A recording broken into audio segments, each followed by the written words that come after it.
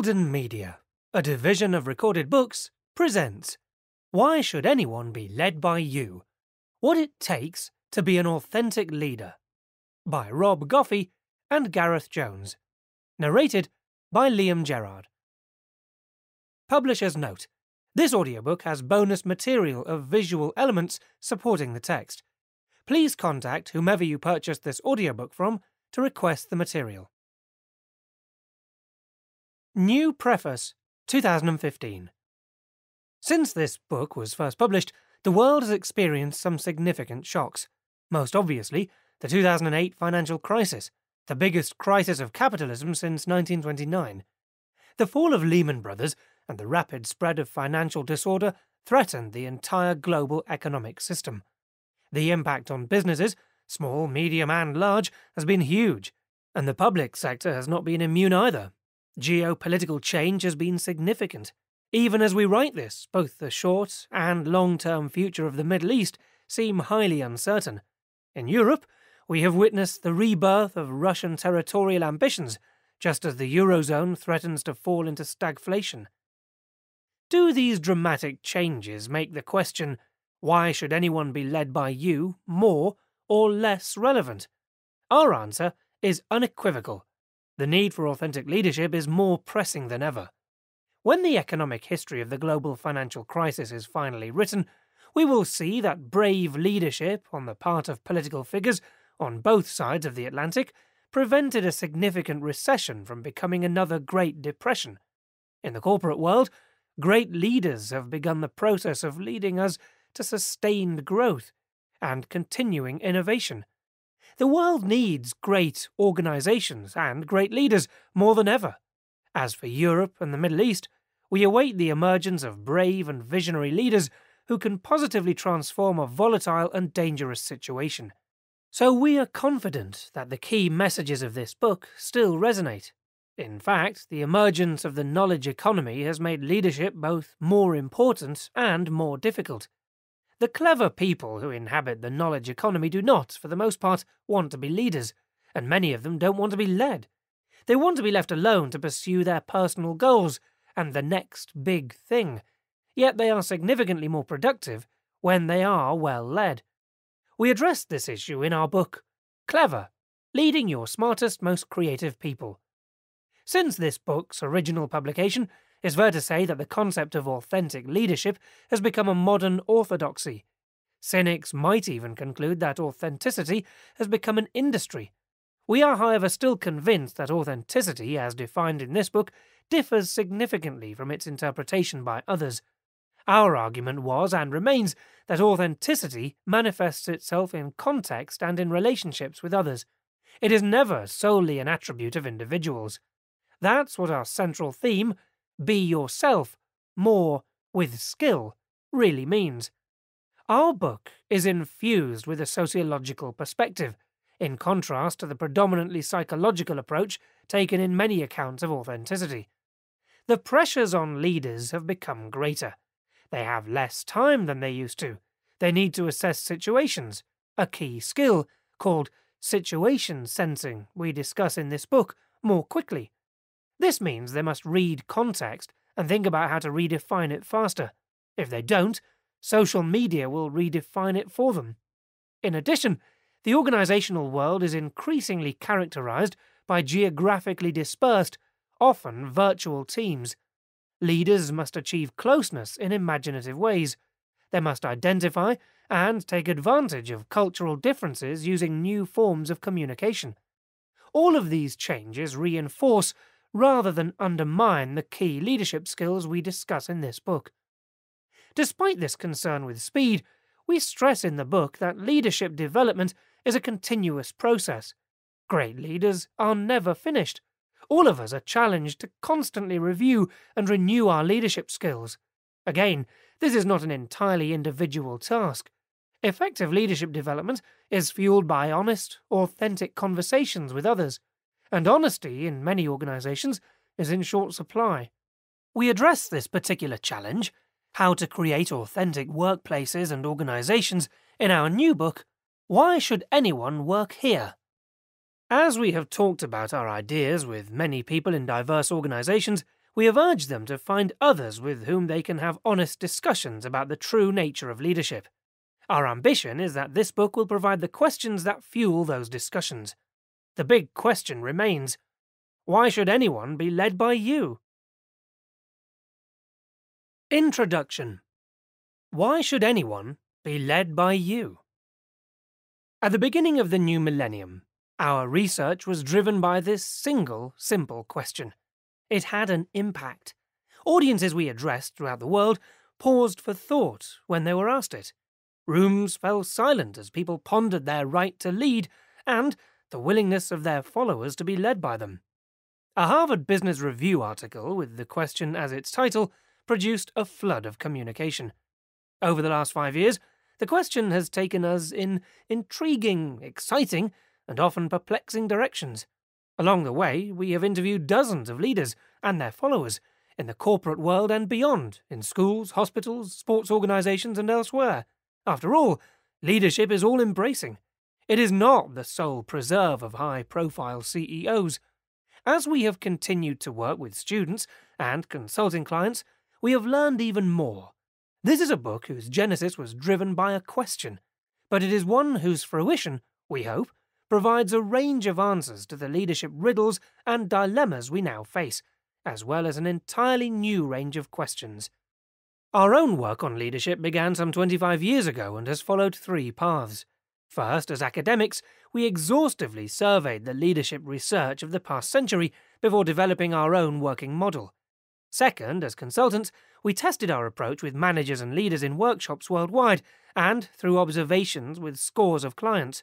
And third, as leaders, we vetted our ideas in our own organizations. Throughout, the focus of our research has been on leaders who excel at inspiring people, leaders who succeed in capturing hearts, minds, and souls. We are fascinated by leadership that, reaching back to the ideas of Max Weber, is anti bureaucratic and charismatic. To have leaders with these qualities is not everything in business, but our contention is that it is worth a substantial amount. Indeed, Great results are likely to be impossible without it. Make no mistake, leadership is about results. Great leadership has the potential to excite people to extraordinary levels of achievement. But it is not only about performance, it is also about meaning. This is an important point, and one that is often overlooked by contemporary leadership literature. Leaders at all levels make a difference to performance. They do so because they make performance meaningful. It is to state the obvious that the impact of leadership on our lives is profound, at work, in our spiritual lives, in sport, and of course in politics. But this observation does capture a peculiarly modern obsession the search for authentic leaders. In Western societies, at least, there is a deep and deepening disenchantment with the able role player, or worse still, the skilled apparatchik of the political or corporate kind we're increasingly suspicious that we are being worked. The search for authenticity is ever more pressing. The authentic quest. There is evidence of the desire for authenticity all around us in popular culture.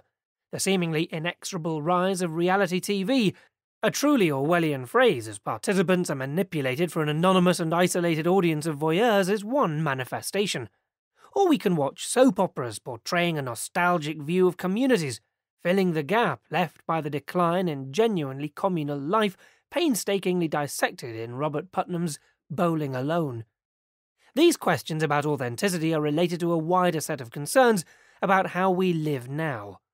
Critics of modern societies persistently point to three concerns that, in their view, restrict or prevent the authentic expression of humanity and make it harder to be yourself. To begin with, there is the triumph of individualism. If there is one overriding characteristic of the modern era, it is the extension of personal freedom through the march of individualism. At the heart of this, of course, lies a paradox. While few would deny that modern life has increased the scope for human choice, many have cautioned against the rise of excessive individualism, a world characterized not by the authentic expression of self, but as simply selfish. At its core, this critique argues that authenticity itself rests upon some sense of moral regulation. We cannot be freely ourselves without an overarching set of shared moral values. In their absence, we get not authentic leaders, but narcissistic ones. The damaging scandals at Enron, Tyco, Hollinger International, and WorldCom add contemporary bite to this critique. Closely related to this lack of moral regulation is the Weberian notion of the modern world dominated by a particular way of thinking. Weber calls this technical rationality. In more modern terminology, this is often called instrumental reason. The rationality of an act is judged by the connection between means and ends, where the ends are given. It is a view of rationality stripped of morality. Whatever your problem, there is a technically rational solution to it. For Max Weber, the triumph of this way of thinking constitutes the nightmare of modern life. He writes passionately of mankind trapped in an iron cage from which it cannot escape. This critique of modern life had been elaborated many times, but of special relevance for us are its consequences in the workplace. From this perspective, work is degraded. It becomes the means to the satisfaction of other ends, paying the mortgage, buying designer label goods, rather than being a milieu, both for the building and discovery of an authentic self and for its disclosure. Both workers and executives are just another kind of input to be downsized, delayered, and discarded. Our workplaces become not arenas for the expression of authenticity, but soulless machines for the production of conformity. This is a theme captured in the grim pessimism of Kafka's novels, and railed against in the long line of anti bureaucratic heroes Western culture has produced, from Charlie Chaplin in modern times to Yossarian in Catch 22 via the good soldier Schweik in Jaroslav Hašek's novel. All human beings who resist being processed. One final theme helps to explain our focus on authenticity. It is most eloquently articulated in the work of Alexis de Tocqueville, who fears the rise of soft despotism, a society in which individuals decline to engage in acts of self government in exchange for a government that meets their material needs. He fears the withering of civil society, the myriad of informal associations that both provide social glue and critically function as vehicles for the expression of self. This Tocqueville theme finds later expression in David Riesman's classic The Lonely Crowd, a picture of isolated, atomized individuals lacking the social relationships from which they could create an authentic self. A similar anxiety is unearthed in Putnam's Bowling Alone. Putnam produces a veritable barrage of evidence to support this claim declining membership of parent teacher associations, falling attendance at public meetings, and, of course, despite the popularity of bowling, the collapse of the bowling leagues. All of these arguments help to explain the contemporary focus on authenticity. It is a reaction to the turbulence and change of modern life. Work and family institutions seem under threat. Recent geopolitical events have dramatically and tragically reinforced this sense of turbulence. As rates of change increase, individuals are ever more motivated to search for constancy and meaning. We've become increasingly suspicious of a world dominated by the mere role player. Authenticity at work. In organizations, the search for the meaning and cohesion leaders provide has become especially acute. The traditional sources of organizational cohesion have all become weaker. The old world was characterized by elaborate hierarchies, by more or less stable careers, for some, never for all, and by clear boundaries between organizations. All this has changed. Now, hierarchies in most organizations are becoming flatter, driven by the need for faster response times and by the competitive pressure to drive down costs. But hierarchies were not just structural coordinating devices in organizations. Rather, and much more significantly, they were sources of meaning. It is not that long ago that, after 15 years, you had made it to deputy assistant to the superintendent, and you had done well. As hierarchies flatten, meaning disappears. We took to leadership to instill our organizations with meaning. Equally significant is the changing shape of careers. Not so long ago, the psychological contract for many, but never for all, involved movement up a relatively stable career ladder, often with one organization. Those days are gone. Instead, individuals maximize their life opportunities through increasing their human capital, knowing that their organizations can offer little certainty for the future. Part of this is liberating individuals as architects of their own working lives, but part is the removal of another source of meaning at work. Even organizational boundaries have begun to break down. The old theory of firm behavior described discrete organizations competing in more or less perfect markets, where some won and some lost. Today, organizations make alliances with suppliers, customers, and sometimes competitors. The organization man, with company blood coursing through his veins, has to come to terms with a world of high ambiguity, in which over identification with one organization is a problem rather than a career. Finally, the spate of corporate scandals at Enron et al. produced a huge loss of faith in our corporate leaders. If there is one good outcome here, it is that we may be finally cured of the cult of the heroic CEO. There is, for example, a growing interest in so called quiet leaders. Our concern is that in time this too could become a leadership cul de sac. We do not want leadership clones, noisy or quiet. We want real leaders. The corporate scandals are a symptom of amoral leadership. The damage done to the ideology that makes our economic system cohere has been substantial. The cosy belief that capitalist enterprises are led in the interests of stakeholders has taken a battering. There is widespread cynicism about the state of our political economy. Executives are not immune to this. Interviewed at work about what gives their lives meaning, they mouth the latest corporate propaganda, increasing shareholder value, delighting customers. Asked the same questions at home, they admit to profound symptoms of meaninglessness as they struggle with work related stress and dysfunctional family lives. We face an epidemic of anomie. It seems that Max Weber's grim predictions of the disenchantment of the world may be fulfilled. All of this has left modern societies with a profound moral vacuum. We are not sure what we believe in. Indeed, one notable contemporary social phenomenon in the Western world is the growth of cult religions as people struggle to find something to believe in. The demand for authentic leadership is there and growing. As traditional hierarchies disintegrate, only leadership can fill the void. Without a clearly articulated purpose, meaning is elusive. Leadership provides that articulation. This search for authenticity and leadership is reinforced whenever we work inside organizations. CEOs tell us that their most pressing need is for more leaders in their organizations not the consummate role players who seem to surround them. And lower down the organisation, the plea is either for more inspiring leadership or, just as common, a fierce desire to develop leadership skills for themselves. Authentic leadership has become the most prized organisational and individual asset. 1. Be yourself. More with skill. When we ask people in organisations, executives, first line supervisors, head teachers, hospital nurses, which set of competences they would most like to develop, all provide the same answer help us to become more effective leaders.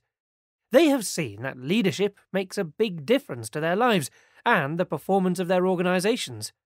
Equally, when we ask CEOs what is the biggest problem they face, they unerringly reply our organisations need more leaders at every level. So, given the hunger for leadership, why are leaders in such short supply? We think there are two fundamental reasons. First, organisations desire leaders, but structure themselves in ways that kill leadership. Far too many of our organisations, in business, in the public sector, and in the not for profit sector, are machines for the destruction of leadership. They encourage either conformists or role players with an impoverished sense of who they are and what they stand for. Neither makes for effective leaders, and of course, this gives rise to legions of disenchanted followers, producing the deepest organisational malaise of modern times cynicism. Second, our understanding of leadership is blinkered. Having reviewed much of the existing leadership literature, both new and old, we find it surprising how little we know. This observation is not a criticism of our academic colleagues who, no doubt, like us, have pondered long and hard on the mysteries of leadership. Rather, it is an observation about the methods we have used and the fundamental assumptions upon which much of the research has rested. The main body of leadership literature focuses on the characteristics of leaders. This gives it a strong psychological bias. It sees leadership qualities as inherent to the individual. The underlying assumption is that leadership is something we do to other people. But in our view, leadership should be seen as something we do with other people. Leadership must always be viewed as a relationship between the leader and the led. Books on leadership persistently try to find a recipe for leadership. Beleaguered executives are invited to compare themselves with lists of leadership competencies and characteristics, against which they always find themselves wanting. Attempts to imitate others, even the most successful leaders, are doomed to failure. As Bill Burns, CEO of the $16 billion global pharmaceutical division of F. Hoffmann La Roche Limited, told us, the idea of us all becoming Jack Welch is nonsense. In our view, there are no universal leadership characteristics. What works for one leader will not work for another. We think that those aspiring to leadership need to discover what it is about themselves that they can mobilize in a leadership context. They need to identify and deploy their own personal leadership assets. Our position is different from much contemporary thinking. This insists that effective leadership rests upon full self knowledge. This sometimes leads to excessive concern with the inner drives of the leader and finds expression in some formulations of emotional intelligence, EI, and more broadly in the psychoanalytic literature on leadership. No doubt EI is a highly useful life skill but our observations of leaders suggest that few develop full self knowledge. Rather, our experience suggests that effective leaders have an overarching sense of purpose together with sufficient self knowledge of their potential leadership assets. They don't know it all, but they know enough. Against this backdrop of increasing demand for leadership, an organizational predisposition to kill leadership, and an inadequate understanding of what leadership entails and requires, the key question is how can we become more effective as leaders and as developers of leaders? The answer, we believe, lies in an explicit recognition of three fundamental axioms about leadership. Situational. First, leadership is situational. What is required of the leader will always be influenced by the situation. This is commonsensical, but true. History is full of examples of leaders who found their time and place, but whose qualities lost their appeal when things moved on. Winston Churchill, for example, was an inspirational wartime leader, but his bulldog style was ill suited to the reconstruction agenda of post war Britain. Similarly, George Bush Sr. had a colossal opinion poll lead in the immediate aftermath of the First Iraq War, and yet, in the following year, he lost to Bill Clinton, by contrast, Nelson Mandela's ability to offer leadership across widely differing contexts exemplifies situational adjustment from a prison cell on Robben Island to the graceful lawns of Union House in Pretoria. There are parallels in organisational life. For example, some hard edged, cost cutting turnaround managers are unable to offer leadership when there is no need to build, but their more adaptable colleagues adjust to shifting agendas and carry their teams with them. As we will see, the ability to observe and understand existing situations, something we call situation sensing, is key to leadership. This involves a mixture of sensory and cognitive abilities. Effective leaders pick up important situational signals. They are able to tune in to the organizational frequency to understand what is going on beneath the surface. This is both a micro and a macro skill, visible in daily routine encounters meetings, walking the corridors, elevator conversations, as well as in big strategic decisions. Does this acquisition smell right? Are these good people to partner with? Skillful leaders are then able to adjust appropriately, self consciously deploying their personal capabilities or leadership assets. We do not mean to be excessively deterministic in our claim that leadership is situational. The situation or context the leader inherits is simply the starting point. Clearly, leaders' actions themselves help to shape the context, altering the initial situation they found. In so doing, they are able to impact, and therefore reshape, the situations within which they lead. Through their interactions, effective leaders construct alternative contexts to those which they initially inherited. They use their personal leadership assets to reframe situations to the benefit of those they lead. This last point is important. It is not sufficient for leaders to reframe a situation to their own advantage. True leadership requires reframing for the benefit of the followers. That is the basis on which the relationship is founded. Non hierarchical. This leads to our second observation. Leadership is non hierarchical. Much of the leadership literature is overly concerned with those who reach the top of organizations. In fact, we would go so far as to say that the persistent misconception that people who occupy senior organizational positions are leaders has probably damaged our capacity to understand leadership more than anything else. It has blinded us to the true nature of leadership. While we recognize that there is a relationship between hierarchy and leadership, they may fulfill a similar function, for example, by investing authority, we view the relationship as contingent. Being given a particular organizational title Team leader, section head, and vice president may confer some hierarchical authority, but it certainly does not make you a leader. Hierarchy alone is neither a necessary nor a sufficient condition for the exercise of leadership. Indeed, it could be argued that the qualities that take you to the top of large scale and often highly political organizations are not obviously the ones associated with leadership. People who make it to the top do so for a whole variety of reasons, including political acumen, personal ambition, time serving, even nepotism, rather than real leadership quality. Our interviews and experience inside organisations confirms that leadership is not the sole preserve of the chosen few. Great organisations have leaders at all levels. Some of the first work we did on leadership involved examining military organisations. Our assumption was that their hierarchical nature would make leadership development difficult. Nothing could be further from the truth. The best military organizations understand that, when they move into action, they simply cannot rely on hierarchy. It may be obliterated when the first mortar lands. It is imperative that they develop leadership capability throughout. They do. It is not just the military that has reached this realization. Consider Sonae, Portugal's largest company, an organization we will examine in more detail later. Sonae's business stretches from wood veneers to telecommunications, taking in a huge retail operation. It focuses relentlessly on high performance. Mediocrity is not tolerated. The company's mission statement starkly states At Sonae, you are either a leader or a candidate to be a leader. The implication is clear. If you are neither, Sonae is not the place for you. Successful organizations, be they hospitals, charities, or commercial enterprises, seek to build leadership capability widely and to give people the opportunity to exercise it. Relational. The third foundation of our view of leadership is that leadership is relational. Put simply, you cannot be a leader without followers. Much of early trait theory seemed to ignore this. By trying to distill the characteristics of leaders, it neglected the fact that leadership is a relationship built actively by both parties. In reality, leadership is always a social construct that is recreated by the relationships between leaders and those they aspire to lead.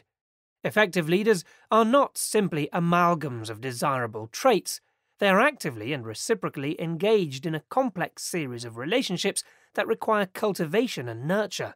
Like all social creations, this web of relationships is fragile and requires constant recreation. You can confirm this every time you talk to a successful CEO, a sports coach, or a team leader. All will tell you that much of their leadership effort is devoted to the maintenance of particular kinds of relationships with their followers. This insistence on the relational nature of leadership does not mean that these relationships are necessarily harmonious. They may well be edgy, but they're about leaders knowing how to excite followers to become great performers. Does this mean generalizations are impossible? We don't think so. Some fundamental principles of leadership do apply across the board. Followers want feelings of excitement and personal significance from their leaders, something confirmed by research. In addition, They wish to feel part of something bigger, a community, if you will. But above all, they look for leaders who are authentic. Indeed, authenticity is integral to the relationship. Without it, there can be no significant investment of trust on either side. How leaders demonstrate authenticity and how followers sense it is a complex theme to which we return at many points in this book. For now, it is sufficient to note that, although this will involve different behaviours in different contexts, effective leaders are still able to communicate a consistent sense of self that is invested, skillfully, in each of the roles that they play. Making sense of authenticity. The concept of authenticity has been extensively discussed from a psychological and psychoanalytic perspective. Much of this literature focuses on the complex, maybe endless, process of self discovery.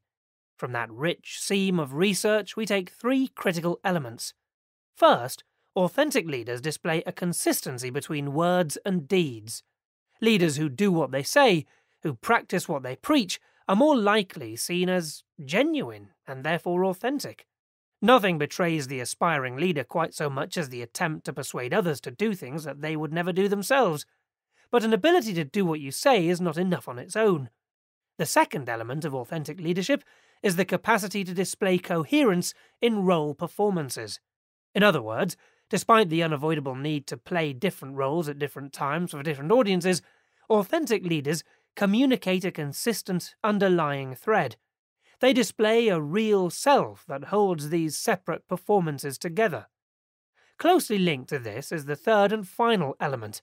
Authentic leadership involves a kind of comfort with self, which is perhaps the hardest aspect of all to attain. This is the internal source from which consistency of role performance is drawn. The concise Oxford Dictionary defines that which is authentic as having undisputed origins, and in a leadership context, this is what followers are looking for a set of performances that have a common origin. The first two of these three elements have received considerable attention. The distinction between espoused and enacted values was first drawn many years ago by Harvard Business School's Chris Argyris. It has been most recently revisited with a new twist in Jeffrey Pfeffer's discussion of the knowing doing gap. Coherence in role performance through the invention of self is a recurring theme subtly explored in the extensive work of Warren Bennis. Comfort with self, the third theme, relates to the interplay between personal origins and destinations. It is less widely discussed in the leadership literature but connects with a rich tradition in sociology. Yet, despite the intense work of many scholars, these insights have remained largely unexplored in understanding the significance of authenticity as it defines the relationship between leaders and followers. In the last five years, there has been a real interest in authenticity as a property of the leader. However, there has been little discussion of authenticity as enacted in social relationships. So, what does all this mean for those who aspire to leadership? The simple answer, deceptively simple, is that to be a more effective leader, you must be yourself, more with skill. Me, myself. First, to be a leader, you must be yourself. This is our theme in the opening chapters of the book. Followers want to be led by a person, not a role holder, or a position filler, or a bureaucrat. Inevitably, then, the central question explicitly or implicitly in the mind of others who might follow us, is what is different about you that equips you to lead? Or, to put it another way, what is special about you that means I should follow you? But this does not take us back to trait theory, which largely failed in its attempts to find patterned differences. What correlations there are in trait based research are weak. For example, effective leaders are often shown to have slightly above average levels of confidence, the point to note is slightly above average, and that the causal relationship remains indeterminate. In other words, it is at least plausible that their self confidence arises from gradual exposure to successful leadership experiences. Despite great endeavours, trait theory has never conclusively established cause and effect. Our own view is almost the polar opposite of trait theory. We argue that effective leaders know those individual differences that might help them in a leadership role, whatever they might be, and use them to their advantage. They must identify differences that have meaning for followers. Think, for example, of the way in which Sir Richard Branson, the Virgin boss, is able to use his physical appearance, casual dress, long hair, and a beard to convey the informality and nonconformity that has become a central part of his leadership, and indeed the Virgin brand. This is an example of an individual skillfully deploying his differences in ways that attract followers. In this case, the differences are significant, real, and perceived. By this, we mean that Branson's differences signify a message. They are authentic, not falsely manufactured, and they are seen by others. We are talking then not of any personal difference, but of an artful and authentic display, often fine tuned over many years, of genuine differences that have the potential to excite others. Or consider this example. We met and observed a cleaning supervisor in a large New York office building. Marcia is a Puerto Rican American woman who leads a team of office cleaners. She is a larger than life character, in every sense. She is intensely proud of her origins, and yet a subtle reader of the many cultures represented by her team. She can be brash, this is New York, but it's done in a knowing kind of way. Her language and clothes are exotic. She uses humour to devastating effect, woe betide the slovenly cleaner. Her passion is for the office workers to notice and comment favourably on the cleanliness of the offices.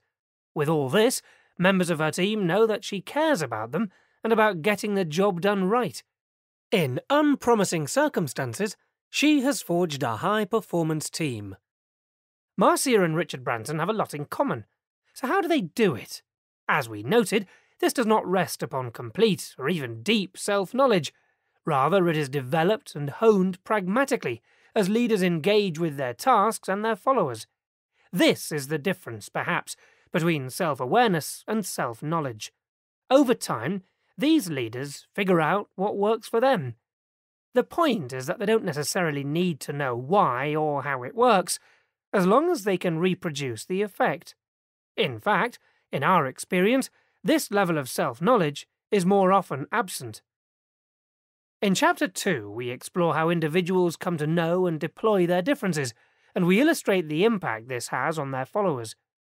This journey of self discovery has its roots in our origins, shaped, as they are, by some such powerful forces as family, gender, locale, and social class.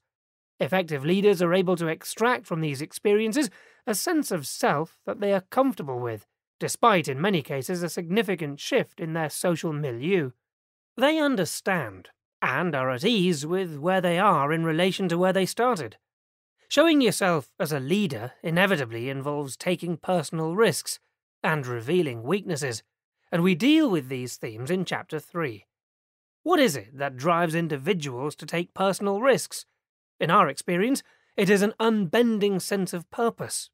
Great leaders really care about an idea, values, a dream, or vision it is this commitment that can carry them through adversity and personal risk. Think, for example, of the leaders of the civil rights movement who took enormous personal risks in pursuit of their dream. Inevitably, as leaders expose themselves, they will always show us weaknesses as well as strengths. But does this make them less attractive as leaders? We think not. Clearly, demonstrating strengths lends leaders legitimacy, but not if weaknesses are denied the desire to be led by a real person demands that we know something of a leader's human foibles and shortcomings. The claim of perfection will rarely convince us of another's humanity, and, paradoxically, denying weakness is most likely to increase rather than reduce the leader's vulnerability. The context's the thing. But although the link between self knowledge and self disclosure is a central and increasingly fashionable starting point for understanding effective leadership, it is not everything. The world is not that simple. Leadership does not take place in a vacuum. You must be. We hope you enjoyed this preview. To continue listening to this audiobook on Google Play Books, use the link in the video description.